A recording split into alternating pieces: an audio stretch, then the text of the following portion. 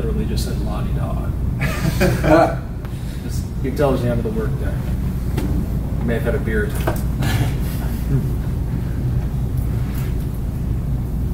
So what we're doing here is we're, uh, I right clicked on these, or uh, highlighted these two change logs, just right clicked and I said compare.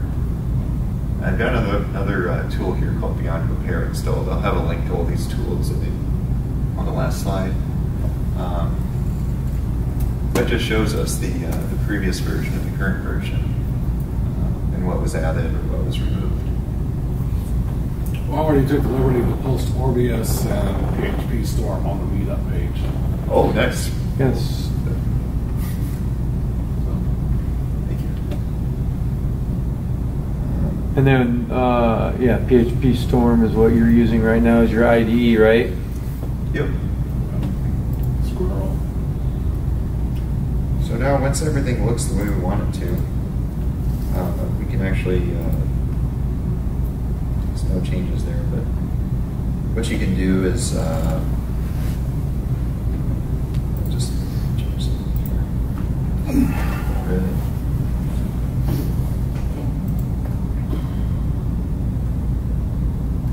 Commit that last file. Color that's accurate. To test, but we're going to do something called commit and push. And what that does is it gets us gets it off our local computer and puts it out on a uh, remote server. So it's asking us to define the remote server. We don't have one yet, uh, but I will show you a, a service that I use. I use uh, Bitbucket because it's basically free for up to five users. I know a lot of developers like GitHub. But I follow the inexpensive routes. So, and this one works just perfectly fine. Creating a repository is really easy. Just go to repositories, create repository. Um, it's called demo, demo repo. Uh, you can choose your repository type, we'll give it a Git. And then the URL to your repository is just right there for you. Copy it and go right back into PHP Storm. And when it's saying define remote, all it's asking is for that URL for the repository just created. Say OK. Um, I think I was previously authenticated with, with Bitbucket, so it's not asking me um, to authenticate. Maybe it will here. So we'll say push. Push is a term in Git which means sending it off your computer to your remote server, basically. People are going to watch this video that, that Aaron's recording and say, no, that's wrong. Hey, it's good enough for me. I just learned something new. I didn't know that you pointed to that URL. Oh, yeah. I, I do the whole SSH key route and, you know, like, hey, that's much simpler. Yeah. Just ask you to authenticate. Nice. Yeah, I didn't know Bitbucket did that. And also, uh, when you connect via SFTP, it will ask you to accept the SSH key and everything the first time you connect to that server. So, uh, but we can see this push here. It says there's four commits because we basically pushed a batch of commits to this remote server. And this is what other developers can access. Um, this can act as your backup. And um, you can actually inspect any one of these, these guys here. And it will even show you what changed just right in the web browser. There's also a mobile app for this too. So, um, you know, it's it's different tools for different purposes. You know, you don't we don't necessarily need an all-in-one tool. That's why, personally, I, I don't use development plugins on WordPress sites. Um, I manage my backup separately rather than using backup plugins. Um, and uh, you know, source control, I keep that separate.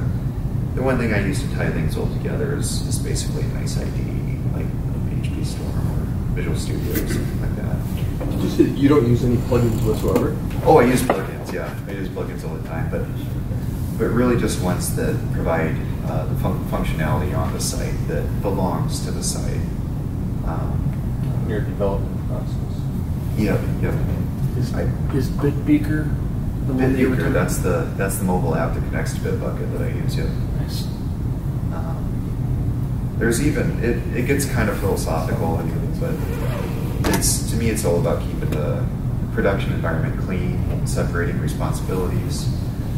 I, I would even argue that um, something like, like gravity forms, I, it's nice that when you enter in something into the form, you can rest assured that the data is going to be captured, even if your email system is broken or something like that. But what would be, I would almost prefer is to have a robust, you know, integration with another system, like your uh, CRM system or something like that. And it would post the data to your CRM system because your website is for presentation and for providing functionality to users of the website. And I still don't quite understand why that data needs to be stored in the website itself, the website database. Um, but it does kind of show that people start trying to use WordPress, um, you know, as a golden hammer, and everything's starting to look like a nail. So, but I know that I know that Gravity Forms does have integrations with other things, so that you can push stuff to your CRM.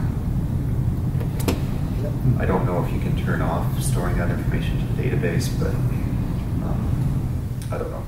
It's just something I was kind of thinking of in the back of the room earlier. Um, yeah.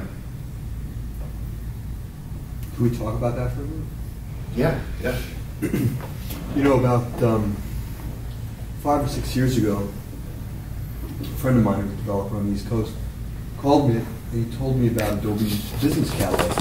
And I actually started crying on the phone because basically what he told me was that instead of taking WordPress and uh, having to integrate um, a uh, CRM and your database and um, uh, a cart.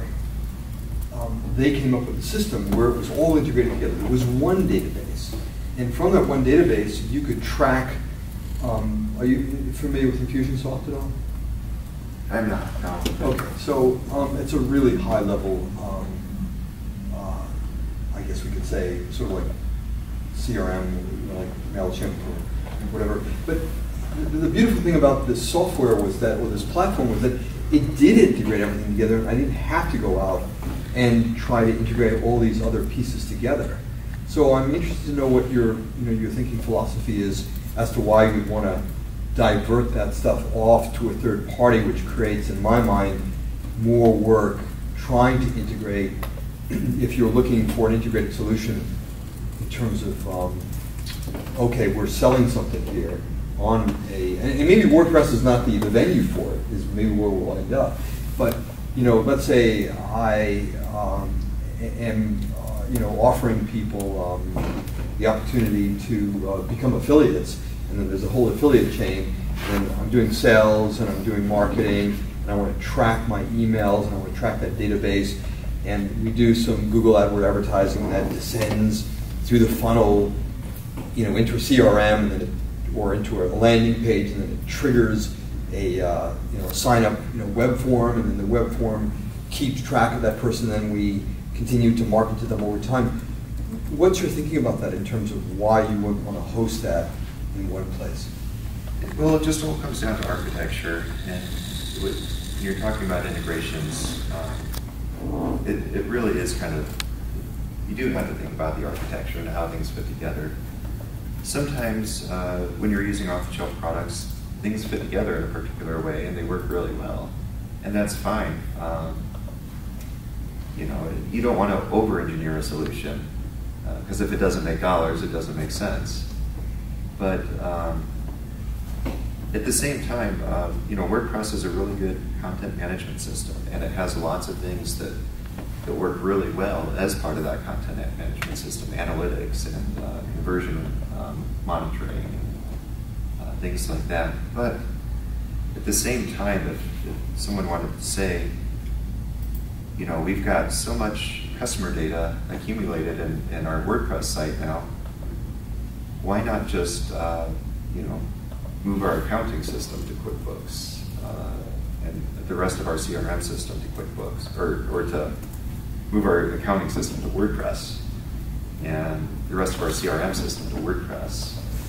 Um, I just, I, that's, that's kind of where I start having to, to question things, you know.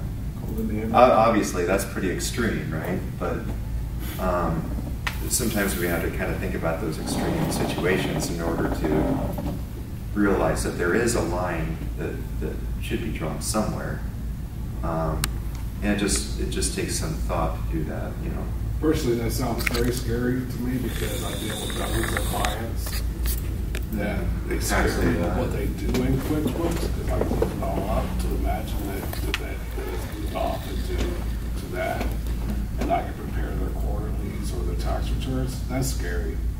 But on the other hand, That's really scary.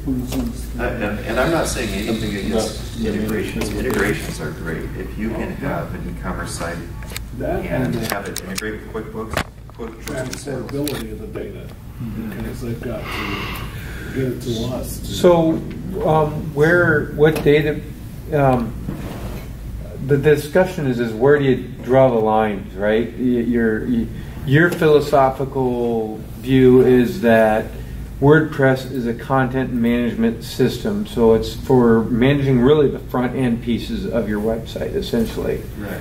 And so all the hard work is done in the back end. Where, what, what database solutions do you recommend for the back end? For WordPress or for other systems? Well, for for for a, a complex business system that you're that has a, a, a front end WordPress, pre, you know, is- you use WordPress for your front end, but then you have a complex business system that integrates with that. Well, it, it, it depends. That's all custom. Well, and, and if I might interject in line with, you know, the point you're making, what I'll find myself doing with a lot of business customers in, in the century or so I've been doing it, is what is the system of record? In, in case of your CRM, you know, what is the system of record for your sales leads and all that? It's probably a CRM system. I ultimately want to get the data there, and then I want to protect that basket of eggs very well. Yeah, yeah. In that category. I want the accounting data in the accounting system, and then I want to appropriately protect that data in that nest, you know. Yeah, I see WordPress is, is And, is- and, and I, and I'm liking your definition, this is a content management system. Let's think about what content we're talking about, the content of your website and the front end. uh, Yep. of your interface to Right. your customers, your users, and the public. Um, I, that, that's the way I see WordPress, and really any website is it's it's an interface. It shouldn't necessarily um, do much more than that. Um, you know, if it needs to have custom code or uh, or custom content, it should all serve its purpose as that interface. If it's taking in data, um, you know, unless the purpose of that website, you know, like QuickBooks Online or something, is to you know, do stuff with that data, pass it off to a, a system that specializes in that data. Let it become your system of record. Um, and that's that's my contention, basically. Uh, and uh, Gravity Forms, on the other hand, I know does do that. It may store it locally in your WordPress da- database, but it also does have integrations with various CRM systems, which will push the data over for you. So, So yeah, Gravity Forms is like a conduit into other systems. It's, it's a it's a way to have a front end that integrates with all these other systems with, with a different with a variety of different systems. Is that a data mart on its way to the system. right? yeah. and integrations with systems are, are great. I you know I think it's really a good way to go. But uh, when when you consider extending a system, um, I would just say just just keep in mind what that system is intended to do, what the purpose of that system is. Yeah. The way I kind of look at WordPress is like a jack of all trades, master of none. Like it can do a lot of things, but it's it's like some of the other like CRM stuff and that type of thing. It's going to be able to do them, but it's whether or not you want it to do it to the ability that you expect it to. So I know when we used it, we tried to overextend it so much. I mean, it could do it, but it wasn't doing it well. We had to install kind of hodgepodge plugins or kind of make it work. and that's not necessarily something you want to do, especially with CRM. So when it's generating sales and leads and that type of thing, I think that'd be something better left to like something more designated to that. I guess is the way I look at it. It's a good, it's a good way to collect leads and stuff and feed them into a CRM, but you wouldn't want to, I personally wouldn't want to make WordPress itself into any sort of a CRM. Um, Well, You probably want to get it into your Salesforce or whatever, and then leverage on what that tool can do with that data. Exactly. Yeah.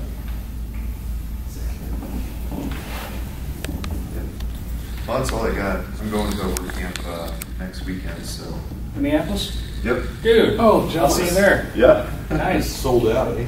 Yeah. Yeah. Hopefully, I haven't said anything uh, too disparaging or disagreeable about WordPress. So I'm good. No, no. I, I know those WordPress, those WordCamps can get pretty rowdy. So. How, uh, how many people do they allow there? uh, this is going to be my first one.